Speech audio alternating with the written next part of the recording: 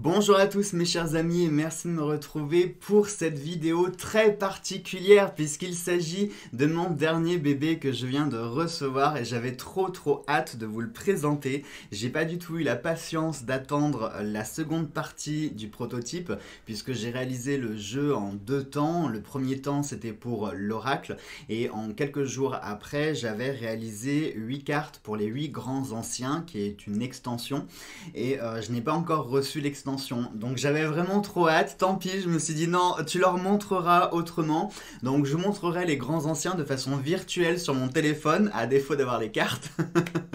Mais vraiment, j'avais pas la patience euh, d'attendre encore plusieurs jours pour vous faire la review. Donc je me lance.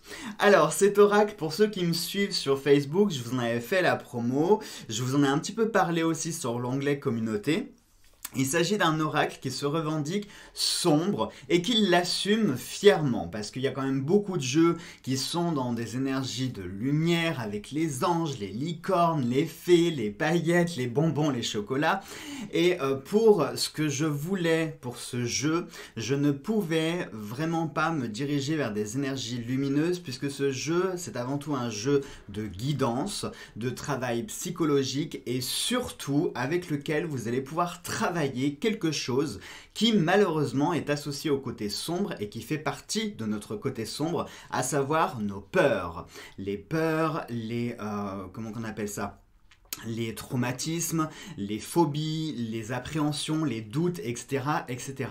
Et ça, c'est vraiment une facette de l'être humain qui est associée au côté sombre. Et pour vaincre ou essayer de comprendre nos peurs, eh bien, il faut aller dans ce côté sombre. Hein, on ne peut pas invoquer euh, des anges ou quoi que ce soit. Il faut d'abord euh, déterminer notre peur, la comprendre, savoir d'où elle vient, pourquoi, etc., etc., pour ensuite essayer de la maîtriser puis de la vaincre. Hein. C'est le principe même aussi de polarité.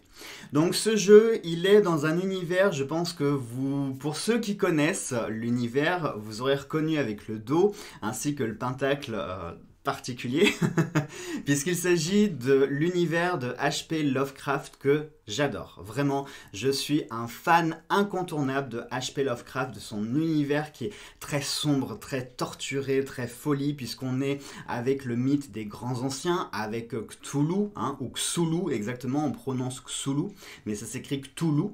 Euh, donc Cthulhu, je pense que vous le connaissez, hein, c'est cette créature euh, mythologique, mi-homme, mi-pieuvre, mi-chauve-souris, qui vit euh, au fin fond des océans, dans une cité interdite, où pour l'instant il est en sommeil et on dit que un jour, grâce à des cultistes et des rituels, eh bien ce grand ancien se réveillera pour apporter la folie sur la terre. Voilà, ça c'est pour vous mettre un petit peu dans l'ambiance, c'est le teaser. Donc ce jeu, il est composé de 56 cartes à l'origine et il y aura donc 8 grands anciens supplémentaires qui viendront se greffer. Chaque ancien représentera une peur particulière. Je vous ai réalisé un PDF que je vous mettrai dans la barre d'infos de cette vidéo, donc n'hésitez pas à aller le télécharger, il est gratuit, hein, il est sur euh, mon Google Drive. Donc vous pouvez le télécharger. Par contre, le PDF euh, est uniquement réservé pour les grands anciens. Il n'est pas réservé pour les autres cartes, puisque de toute façon, vous allez le découvrir. Les autres cartes, il y a un titre et il y a la définition de la carte sur la carte. Donc je me suis dit que je n'avais pas besoin de le mettre sur le PDF. Je vous ai uniquement retranscrit les peurs primaires et secondaires rattachées aux grands anciens qui sont sur le PDF. Voilà. Alors, ce jeu, vous allez le voir, il sort un petit peu de l'ordinaire, il sort un petit peu de ce que je fais d'habitude, à savoir des oracles un petit peu plus classiques, on va dire, où il n'y a pas forcément besoin de matériel pour manipuler cet oracle-là. Celui-ci, il va avoir un petit accessoire pour utiliser ce jeu, et je vous explique ça en seconde partie de vidéo. La première partie, on va faire la découverte et la review, et la seconde partie, on va faire comment on va pouvoir manipuler ce jeu. Je vous précise que ce jeu est disponible sur ma boutique, donc prenez bien attention lorsque vous irez sur ma boutique. Pareil, hein, le lien de la boutique est aussi en barre d'infos, donc n'hésitez pas à aller la visiter. Donc prenez, euh, prenez garde lorsque vous irez sur ma boutique puisqu'il faudra sélectionner trois choses si vous voulez avoir l'oracle complet. Vous aurez l'oracle de la vision interdite, donc ça c'est le jeu que je vais vous présenter dans la vidéo. Vous avez la pièce de la vision interdite et sans cet accessoire vous ne pourrez pas, alors vous ne pourrez pas, Dans l'extrême, si vous pourriez bien utiliser le jeu, mais euh, si vous voulez l'utiliser comme je l'ai conçu, il faudra ajouter la pièce de la vision interdite. Donc la pièce de la vision interdite, c'est euh, ça, d'accord? Et enfin, si vous voulez l'extension, qui n'est pas forcément obligatoire, vous pouvez très bien utiliser le jeu tel qu'il est, mais si vous le voulez au complet, il faudra aussi rajouter les grands anciens, puisqu'ils symbolisent les peurs. Et pareil, vous trouverez extension, vision interdite, donc vous aurez trois produits différents à mettre si vous voulez avoir le jeu complet. J'ai pas pu faire autrement, je voulais vous faire une version complète avec euh, l'oracle plus les grands anciens, mais malheureusement je ne pouvais pas mettre en fait euh, le nombre exact puisque 56 plus 8 ça me portait du coup à 60 cartes et euh, ça allait pas en fait dans 56 plus 8 égale 60, n'importe quoi. 58, 56 plus 8 ça fait 64 Excusez-moi. Excusez-moi, je suis fatigué. et 64, en fait, je ne pouvais pas le mettre sur le site. Il me l'a pas accordé. Ça lui allait pas. Euh, parce que le site, il fonctionne soit 56, 60. après, on passe, je crois, à 72, un truc comme ça. Et en fait, ça lui allait pas. Donc, j'ai été obligé de vous faire comme ça l'oracle séparé avec les grands anciens séparés. Et puis, c'est pas plus mal parce que, comme je vous l'ai dit, les grands anciens ne sont pas obligatoires dans le jeu. Vous pouvez très bien euh, l'utiliser sans. Donc en fin de compte, je me dis que c'est pas mal de laisser l'extension en plus si vous la voulez. Voilà. Alors, euh, donc on va d'abord passer par la review du jeu. Tout d'abord, la qualité des cartes. Je ne vous la présente plus pour ceux qui possèdent mes jeux, vous la connaissez, je prends toujours toutes les options au taquet, c'est-à-dire la qualité de papier la plus haute, les finitions les plus hautes. Euh, donc voilà, on est toujours sur la même euh, qualité de cartes, comme par exemple euh, l'œil dans le noir si vous le possédez, l'oracle fantabuleux si vous le possédez. Voilà, on est exactement dans la même qualité que ces jeux-là. On est sur une finition gloss puisque c'est ma marque de fabrique, j'arriverai jamais à m'en dépêtrer de cette finition. En même temps, je la trouve tellement belle, euh, ça permet d'avoir les cartes qui glissent super bien, euh, ça n'abîme pas le jeu avec le temps, avec les années, hein, parce que je vois mon fantabuleux, ça fait presque 3 ans quand même que je le possède, en l'ayant brassé beaucoup, les cartes n'ont pas bougé, l'encre n'a pas bougé, il ne s'est même pas abîmé sur les côtés. un petit peu, il s'est un petit peu patiné, mais c'est vraiment très très très très léger. Euh, donc finition gloss on est, comme je vous l'ai dit, sur 56 cartes, euh, sur le format donc du fantabuleux ou de l'œil dans le noir, donc on est sur un format oracle, hein, assez grand.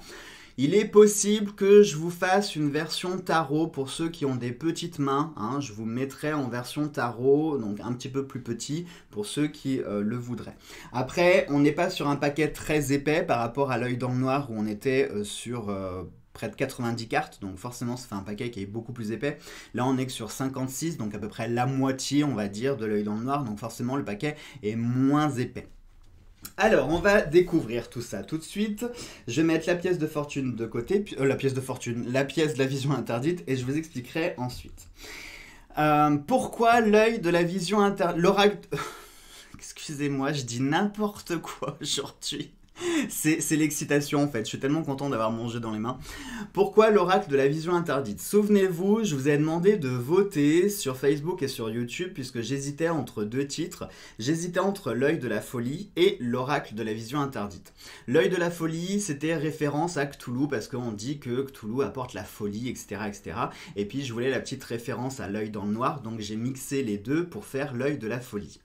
Et euh, la vision interdite, tout simplement parce que vous allez le voir, la pièce qui est associée, la pièce de la vision interdite, c'est elle qui va définir si oui ou non vous pourrez retourner la carte. Lorsque vous allez faire un tirage, vous allez devoir euh, jeter cette pièce à pile ou face, et c'est elle qui vous dira si vous pouvez retourner la carte ou pas. Donc quelque part, on a ce côté interdit de ne pas pouvoir voir la carte en question.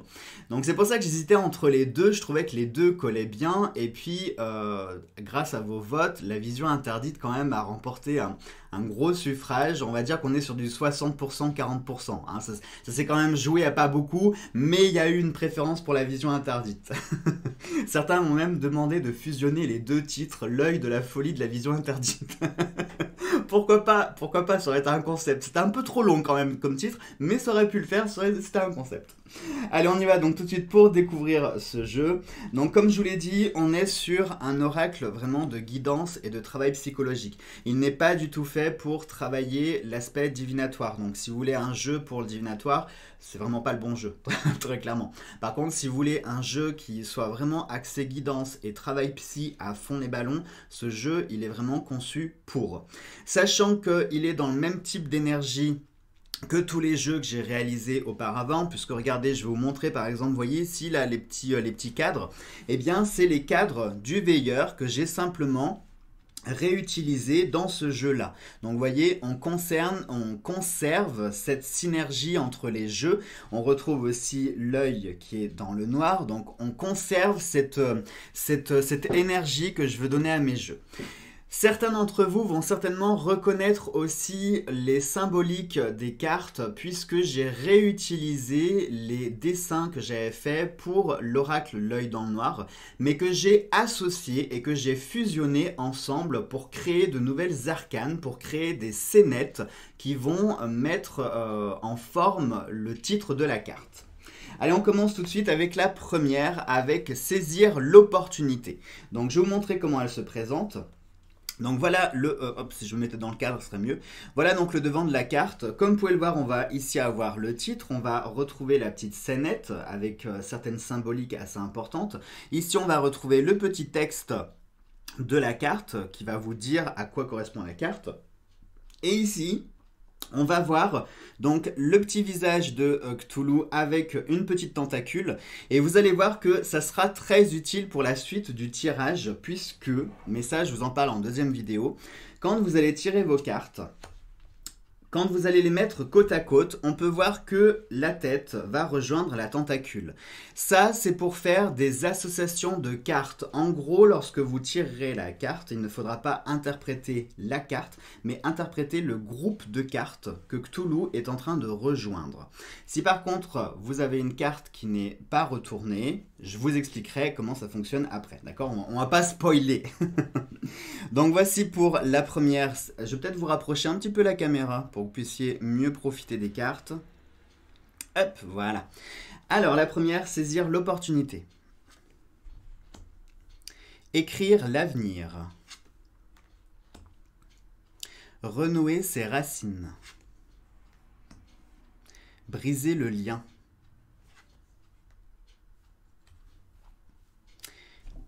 Excusez-moi. Voyez, voyez comme le gloss permet de bien faire glisser les cartes? Non, je crois que je vais faire comme ça, ce sera plus simple. Anticiper le hasard. Être prêt.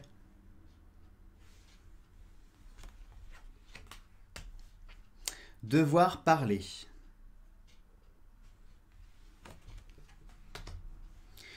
Ouvrir son cœur.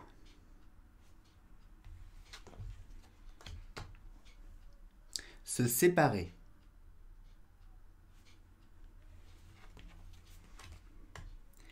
Être uni.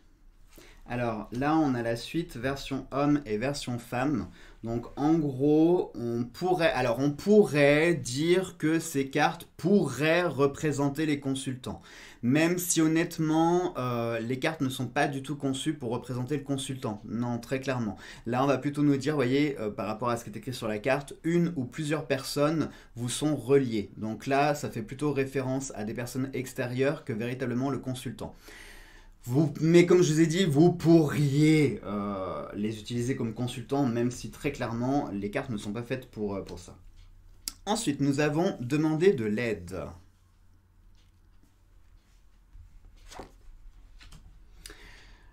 Sentir le danger.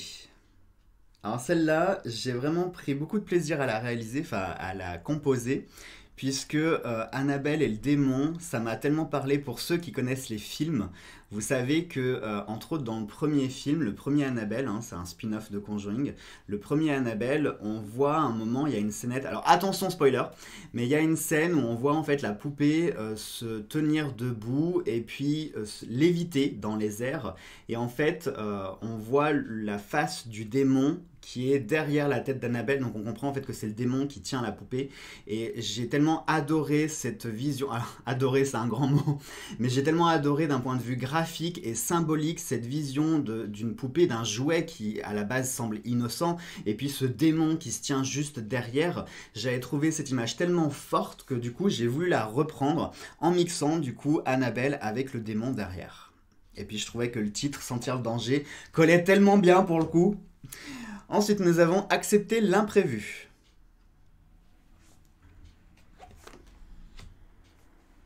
Être dépendant. Alors pour ceux qui possèdent l'oracle de l'œil dans le noir, euh, certains me demandaient souvent la mandragore à quoi elle correspondait. Et du coup, avec cette carte, vous allez pouvoir un petit peu comprendre à quoi sert la mandragore et surtout qu'il s'agit ici d'un poison. Et la mandragore, effectivement, c'est un poison, un poison euh, un peu particulier puisqu'il agit un peu comme le LSD, c'est-à-dire qu'il va vous faire euh, voyager au pays des merveilles. Hein. Bon, si vous en prenez à faible dose, si vous en prenez à forte dose, c'est plutôt à la morgue que vous finirez. Mais voilà, grâce à cette carte, vous allez un petit peu pouvoir comprendre à quoi elle correspond. Ensuite, nous avons cultivé le secret.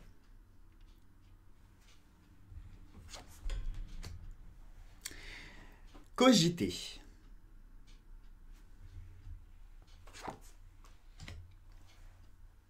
Invoquer la magie. Avec le pentacle et les cinq éléments, à savoir l'eau, la terre, le feu, l'air et l'akasha, qui est l'esprit, le cinquième élément. Savoir écouter.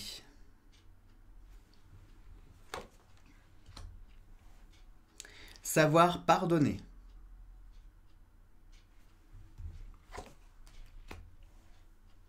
Remonter la clé.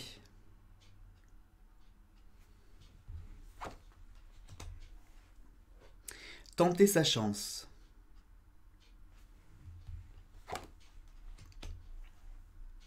Être attentif.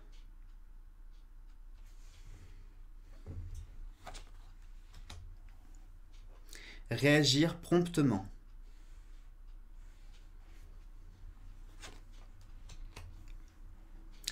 Tenir sa promesse.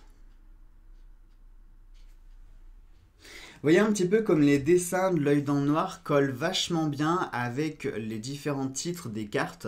Vraiment, euh, à la base, je voulais vraiment partir sur un nouvel oracle. Je voulais redessiner, enfin, je voulais dessiner des nouvelles lames pour cet oracle. Et puis, quand j'ai vu en fait les images de mon oracle de l'œil en noir, je me suis dit, ah, je suis sûr qu'il y a moyen de faire quelque chose, de composer, de, de mixer, de fusionner les images, les dessins pour en faire quelque chose de nouveau. Et effectivement du coup ça marche bien. Enfin pour moi je trouve que ça marche bien.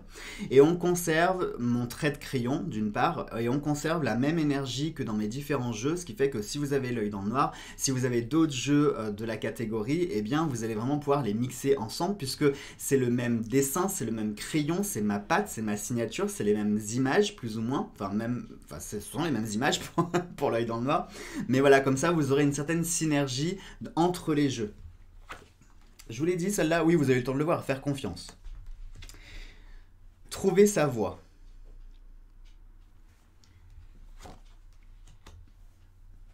Se délester.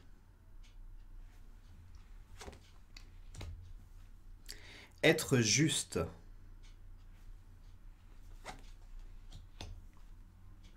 Laisser le temps.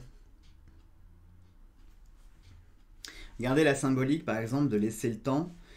Le temps peut vraiment tout changer et peut tout transformer. Une situation qui semble être catastrophique peut devenir positive. Et à l'inverse, parfois, euh, quelque chose de bon peut virer au vinaigre. Et c'est la symbolique que j'ai voulu faire avec l'ange, le sablier au milieu, qui nous montre que le temps peut transformer une personne, à savoir passer d'un ange au démon ou d'un démon à un ange. Je pense que vous aviez compris quand même la symbolique. Rentrer chez soi.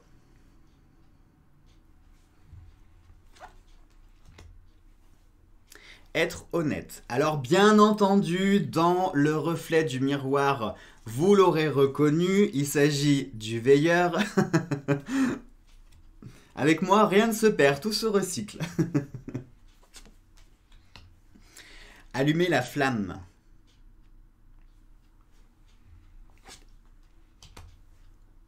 Être observateur. Réparer ses erreurs.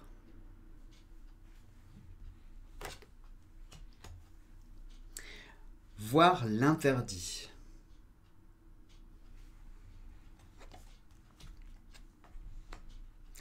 La réponse oui, la réponse non. Alors pour le coup, j'étais obligé de mettre la Ouija pour les réponses. Ça m'est paru comme une évidence, surtout avec ce jeu qui est quand même à tourner euh, beaucoup sur la mythologie Lovecraftienne.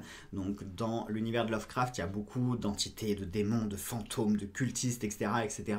Donc euh, l'outil de la Ouija était plus qu'approprié. Et pour les réponses, c'était une évidence que j'utilise la goutte de Ouija pour le oui et pour le non. Être à la dérive.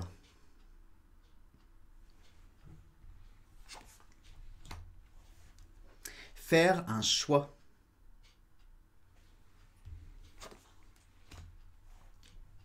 Tenir bon. Regardez un petit peu, je vais vous parler de la symbolique de celle-ci. Donc vous connaissez bien sûr la route et puis le panneau, hein, qui sont deux cartes séparées. Et là, je les ai fusionnées. Et on voit du coup cette route sinueuse qui nous brinque-balle comme ça, un coup à droite, un coup à gauche. On n'arrive pas à tenir droit, etc. On est sur un chemin extrêmement difficile. Plus on avance, plus on est brinque-ballé. Bref, c'est vraiment... Euh, on, est torturé ici sur cette carte. C'est pour ça qu'on nous dit de tenir bon. Malgré les aléas de la vie, malgré qu'on nous pousse à gauche, à droite, il faut toujours tenir bon. Se libérer.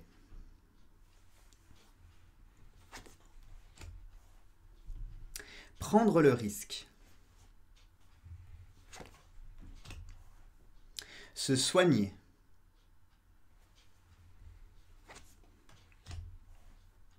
Faire son deuil.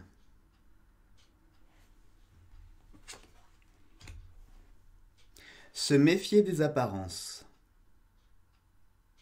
Vous voyez, par exemple, là, sur cette carte, on nous dit que votre ennemi, même le plus petit, reste un ennemi on voit ce cheval quand même assez grand, assez fort, assez vigoureux.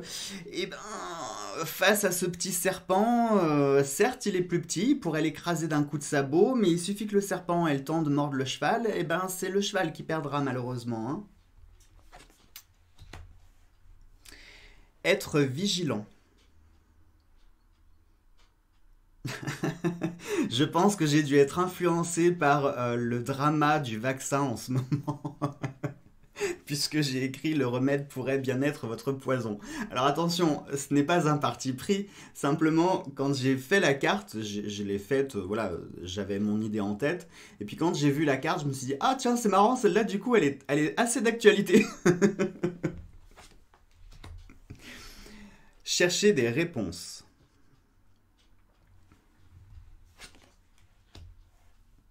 Combattre le mal.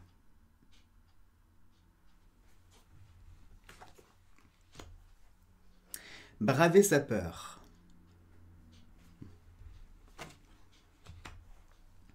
Réveiller l'ancien.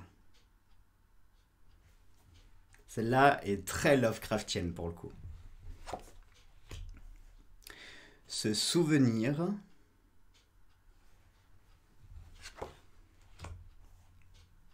S'exprimer.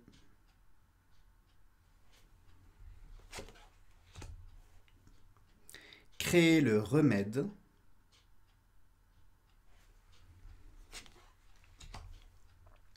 se protéger. Alors j'ai peut-être caché ça parce que je voudrais pas que YouTube le démonétise. Mais bon, vous l'aurez reconnu, hein, c'est euh, la carte du phallus qui est sur l'œil dans le noir. Là, il est en petit, il est en, miniature. Donc pour ceux que ça dérangeait, vous ne le verrez pas trop, il est tout petit. Mais cette carte est très symbolique puisque du coup, vous l'aurez compris, se protéger avec les différents éléments qu'il y a sur la carte, que ce soit la poupée euh, vaudou, que ce soit les virus, que ce soit la sexualité ou que ce soit les trahisons. Je fais vraiment référence au fait de se protéger en règle générale hein, sur plein de domaines. Et enfin, nous avons le grand ancien en personne, à savoir Cthulhu, qui lui représentera vraiment l'aspect de la peur. Alors si vous ne prenez pas l'extension des huit grands anciens, vous n'aurez que Cthulhu dans le jeu de base, et lorsque celui-ci apparaîtra, il symbolisera vraiment un danger imminent, une menace, euh, une très grande peur, enfin vraiment ce sera un très mauvais présage quand Cthulhu apparaît dans un tirage. Donc priez pour que jamais il ne sorte dans votre jeu, puisqu'il fera toujours référence à quelque chose extrêmement menaçant qui arrive, qui est en train d'arriver, qui est en train de se mettre en place. voilà. ensuite, je vais vous montrer donc les grands anciens de façon virtuelle. Alors, j'espère que vous voyez bien. Oui, vous voyez bien. Donc, bien entendu, les grands anciens seront dans le même style que, que Cthulhu, hein, la même carte, le même dos, etc. Essayez de vous projeter.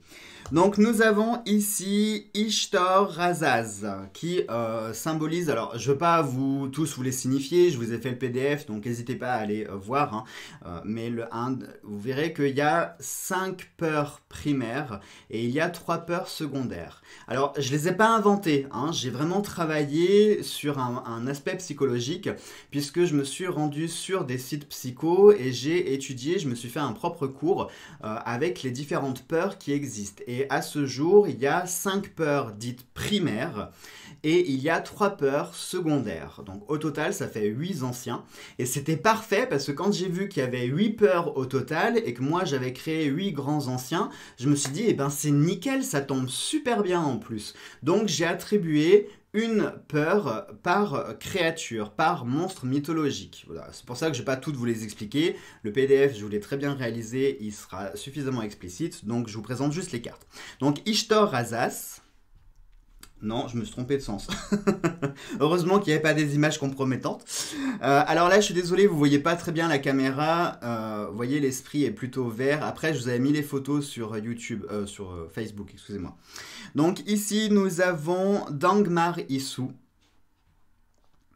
Là, nous avons le Shogot. Pour ceux qui euh, sont familiers de l'univers Lovecraft, vous reconnaîtrez bien sûr les noms, puisque les noms, je, ne les ai pas inventés, hein, je les ai vraiment repris du bestiaire de euh, Lovecraft. Et entre autres, le Shogot, c'est une créature qui existe, enfin qui existe, qui existe dans le monde de Lovecraft, hein, qu'on soit bien d'accord, et qui ressemble un peu à cette affaire. Alors, je suis vraiment désolé, la qualité est pas terrible, hein, euh, vous en doutez, c'est sur le téléphone, mais les cartes auront une meilleure tête. Ici, nous avons euh, Astour, qui est aussi euh, surnommé le roi jaune. Pourquoi le roi jaune? Je sais pas si vous allez voir, avec sa robe, en fait, ça rend pas du tout bien les couleurs à la caméra, mais alors pas du tout. Sa robe est vraiment un jaune sombre qui tire un peu sur l'oranger. Ensuite, nous avons ici Azasot. Azasot qui est pareil, une créature mythologique hein, qui est représentée comme ça juste par un œil avec plein de tentacules autour. Ensuite, ah ouais, non, mais c'est super moche à la caméra. On voit rien, on a l'impression que le livre il est tout blanc alors qu'il est plein de détails. Bon, c'est pas grave. Euh, nous avons ici bien sûr le Necronomicon. Hein. Je ne pouvais pas ne pas le mettre ce livre puisque c'est quand même le livre emblématique de Lovecraft quand même. Donc euh, je pense que vous avez tous entendu parler du Necronomicon puisqu'il y a beaucoup de légendes urbaines et de mythes qui existent sur ce livre. Certains croient vraiment à son existence, d'autres euh, sont persuadés que le livre a été créé de toutes pièces, enfin qu'il a été inventé de toutes pièces. Bref, il y a vraiment un, comment on pourrait dire, il y, a, vraiment ici une espèce de drama autour du Necronomicon. Chacun sa position, chacun sa croyance par rapport à ça. De toute façon, on ne le sait pas. Hein. Ensuite, nous avons... Ah ouais, non mais c'est super moche les couleurs. Bon, c'est pas grave. Euh, nous avons ici... Euh, comment il s'appelle déjà? Euh, C'est comme Xulu. Ah, je m'en rappelle plus. ça commence par Cthulhu aussi. Et c'est Cthulhu... Cthulhu... Cthulga. Ksuga, alors ça c'est une créature qui vit dans l'espace, qui est une espèce de soleil. J'aimerais bien qu'il... Non, ouais, non, c'est dommage. C'est dommage parce que les couleurs sont vraiment dans les teintes de jaune, de, flamme en fait. Pourquoi? Parce que Cthulhu, c'est euh, une créature qui vit dans l'espace, qui vit à côté d'un soleil et qui lui-même est une sorte de soleil. C'est une boule de feu, une boule d'énergie, une boule lumineuse. Donc euh, j'ai essayé de représenter cette, euh, cette, cette créature-là. Et nous avons Dagon. Dagon, pareil, qui est aussi euh, une créature euh, un petit peu démoniaque. Alors c'est vraiment dommage que vous puissiez pas profiter des couleurs parce que les couleurs sont très vives, elles sont dans le style de Cthulhu. Hein. Euh, bah, vous le verrez quand, quand je recevrai les cartes, je vous les présenterai. Mais euh, voilà.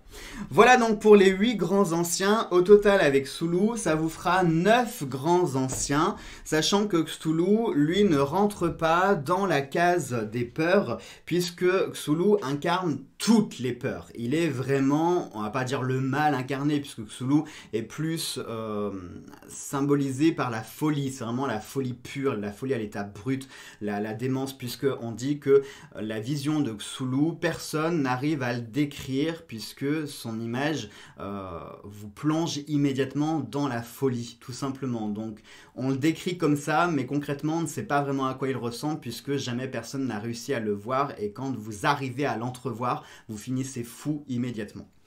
Alors maintenant on va passer à l'explication du jeu. Donc tac, je vais remonter un petit peu la caméra pour que vous puissiez euh, voir. Donc comment est-ce que vous allez utiliser le jeu? Bon, tout simplement, déjà, vous allez mélanger votre jeu, hein, tout ce qu'il y a de plus classique, et ensuite, vous allez euh, étaler votre jeu. Qu'est-ce que j'ai fichu? Vous allez étaler comme ceci votre jeu et vous allez prendre 8 cartes. C'est très important. Pourquoi 8 cartes? 8 grands anciens, hein, puisque le Necronomicon ne fait pas partie des grands anciens, c'est un livre. Donc il y a 8 grands anciens, donc vous prenez 8 cartes. Sachant que si vous avez juste le jeu de base, vous prenez 8 cartes. Si vous avez les grands anciens, l'extension qui va avec, vous prenez aussi les 8 cartes. D'accord? Euh, Ensuite, donc, vous tirez vos 8 cartes, tout simplement. Hein. une, deux, trois. Bon, je ne vais pas toutes les tirer, mais vous avez compris. Hein. On va dire que là, il y en a 8. Vous tirez vos 8 cartes, vous les placez en ligne. C'est très important ici, la méthode de tirage quasiment obligatoire. Après, comme je vous le dis souvent, vous pouvez vous approprier le jeu. Donc si vous avez envie de faire différemment, vous faites différemment. C'est juste que le jeu, je l'ai conçu pour une méthode de tirage précise. Si vous voulez que les tentacules puissent se connecter les unes aux autres. Hein, parce que si vous tirez les cartes différemment, bah, ça va un petit peu euh, foutre en l'air la méthode tout simplement. Donc vous positionnez vos 8 cartes comme ça en ligne. Et avant de retourner vos cartes, vous allez utiliser donc la pièce de la vision interdite. Alors, cette pièce, elle est constituée du pentacle des anciens qu'on retrouve sur le dos des cartes ici. Et sur l'autre face, on va avoir un œil, un œil dans le noir. Lorsque la pièce vous montre l'œil, ça veut dire que vous pouvez retourner la carte, vous pouvez en prendre connaissance. En revanche, si la pièce tombe sur le pentacle, alors vous n'avez pas le droit de retourner la carte et vous passez à la suivante. Donc là, on va faire par exemple un petit essai. Là, on a un œil, on peut retourner la carte. Et on nous dit par exemple de se séparer. On va faire la suivante. J'aimerais bien que ça tombe sur... Euh, voilà. Du coup, la suivante, vous voyez, on a le pentacle qui est sorti. Du coup, on ne sait pas ici. Se séparer de quoi, de qui, on ne sait pas on ne sait pas. Mais ici, on nous dit qu'il faut se séparer. Donc, ça va être à nous de faire un travail pour se dire, ok, faut que je me sépare de quoi? Faut que je me sépare de mon mari, faut que je me sépare de mes enfants, faut que je me sépare de mon chien, faut que je me sépare de mon travail, il faut que je me sépare de, de, de, de, de, mes 300 paires de chaussures. Vous voyez, là, ici, on n'a vraiment pas d'indication et vous n'aurez pas le droit de tricher parce que c'est trop facile sinon. Le but, c'est de travailler vos peurs, justement, de travailler sur vous, de faire une introspection intérieure. Donc, si vous rajoutez des cartes parce que le résultat ne vous convient pas, ça sert strictement à rien. Il va falloir accepter le résultat. Donc ici, se séparer. Ok, ben on sait pas. On sait pas de quoi, on sait pas de qui. Et pour la dernière, eh ben, eh ben voilà, la dernière, pareil, on n'a pas d'indication. Du coup, on ne retournera pas les deux cartes. On ne saura jamais ce qu'il y a. Et il faut savoir que la frustration fait partie aussi des peurs. Donc il faut apprendre euh, à vivre avec cette frustration, accepter de ne pas tout avoir dans la vie. Là, on aurait voulu prendre connaissance des trois cartes, ça nous agace, on a deux qui sont cachées et qu'on ne connaîtra jamais du coup, et qui ne fourniront pas d'indices, eh bien c'est comme ça, il va falloir l'accepter. Donc ça, c'est pour la méthode de tirage, mais imaginons donc que la pièce est euh, donnée l'œil, ce qui veut dire que vous retournez les cartes.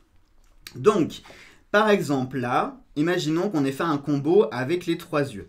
On peut voir que si je les mettais dans l'autre sens, ça serait peut-être mieux pour vous, hein Non, vous en pensez quoi? Alors, on peut voir qu'avec les trois cartes, on a toutes les têtes de Xulu qui sont connectées les unes aux autres grâce aux tentacules. Donc là, on va pouvoir faire... Alors, attendez, il faudrait que je vous fasse comme ça, voilà. Imaginons donc du coup que la première carte, on vous a dit de pas la retourner et que la dernière carte, vous pouvez pas la retourner, vous avez juste ce groupe de cartes.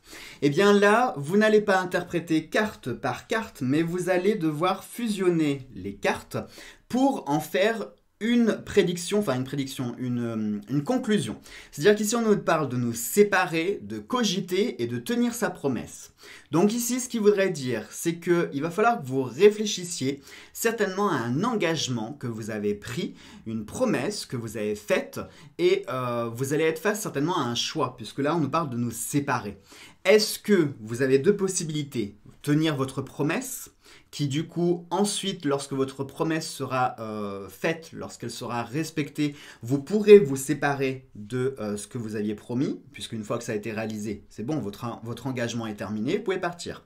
Ou est-ce que le choix c'est de briser votre parole, vous séparer de cette promesse pour vous séparer peut-être de la personne, prendre le risque de perdre la personne parce que du coup vous n'aurez pas tenu votre promesse. Et là, au milieu, on a l'aspect de cogiter, donc réfléchir. Réfléchissez avant de prendre cette décision. Est-ce que vous respecterez votre promesse ou au contraire, est-ce que vous la briserez et prendrez le risque du coup de briser aussi votre relation? Voyez, c'est comme ça que le jeu va fonctionner. Vous allez donc pouvoir faire des associations d'idées, de groupes de cartes. Hein. Ne sera jamais une seule carte, c'est toujours le groupe de cartes puisque la tentacule vous obligera ici à relier les cartes entre elles à chaque fois. Voilà donc pour la méthode de tirage et comment vous allez pouvoir travailler le jeu. Et bien entendu, imaginons que euh, vous sortiez...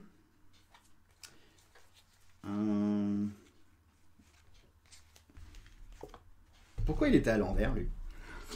Imaginons que dans votre tirage, vous sortiez un grand ancien comme ceci. Alors ça peut être euh, Xulu ou ça peut être un autre ancien comme je vous les ai montrés tout à l'heure euh, virtuellement. Si vous avez un des grands anciens qui sort, et eh bien là je vous invite du coup à consulter votre PDF pour identifier la peur en question. Et là c'est important que vous ayez le PDF parce que pour le coup euh, les peurs, les peurs primaires que je vous ai dit et les peurs secondaires, c'est vraiment des trucs que j'ai bossé qui sont présents en psychologie. Donc vous pouvez pas l'inventer, vous pouvez pas, pour le coup, vous n'avez pas libre cours à l'interprétation. Il faudra vraiment connaître la carte et à quoi elle correspond et à quoi le grand ancien va vous faire référence en termes de peur. Et en fonction de la peur qui va sortir, elle sera forcément liée aux autres cartes si jamais ça sort de façon liée. Si vous avez un grand ancien qui sort en dehors d'un groupe de cartes, comme ceci par exemple, qui sort tout seul. Ici, on nous parle vraiment d'une peur irraisonnée, quelque chose qui vous habite de façon permanente. Et euh, on vous invite du coup à vraiment travailler dessus. D'accord? Donc, ce sera vraiment en fonction de la position des grands anciens. Si c'est avec un groupe de cartes, ça vous donnera une indication euh, sur l'interprétation. Si le grand ancien sort en dehors d'un groupe de cartes, qu'il sort tout seul, alors ça signifiera autre chose. Voilà donc euh, mes chers amis pour notre oracle de la vision interdite. J'espère que la vidéo vous aura plu. J'espère aussi que l'univers vous aura plu. Euh, et, puis, euh, et puis voilà, personnellement j'ai hâte de travailler. N'hésitez pas à me faire des retours en commentaire. Comme je l'ai dit, vous trouverez tout en barre d'infos, que ce soit la boutique MPC, que ce soit le lien pour télécharger le PDF.